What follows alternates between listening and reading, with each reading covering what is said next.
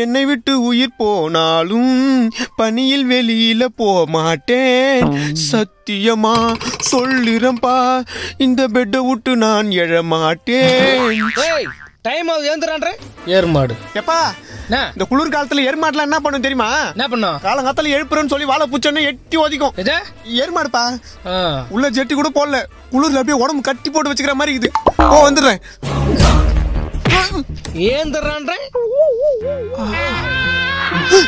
ச்சே, இந்த பித்தத்துக்கு வந்து பொந்துட்டு காலங்கத்துல ரத்தத்தெல்லாம் பார்க்க வேண்டியதாகுது. மா சுட தண்ணி காய வைக்கலையா? காய வைக்கலடா தங்கம். ஒரு நாள் இன்னைக்கு அட்ஜஸ்ட் பண்ணிக்கடா.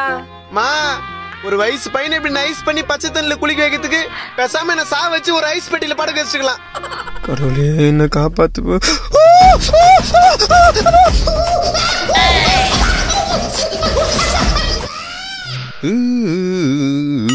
என்னடா பச்சை தண்ணில் குளிச்சுட்டு வெளியில ஒரு ரியாக்ஷன் எல்லாம் வர பா ஊரே குளிர்காலத்துல சில்லுன்னு இருக்கும்போது என் உடம்புல இருந்து வர ஒண்ணுக்கு மட்டும் சூடா இருந்துச்சா அதான் தண்ணியில விளைய குளிச்சுட்டு வந்துட்டேன்?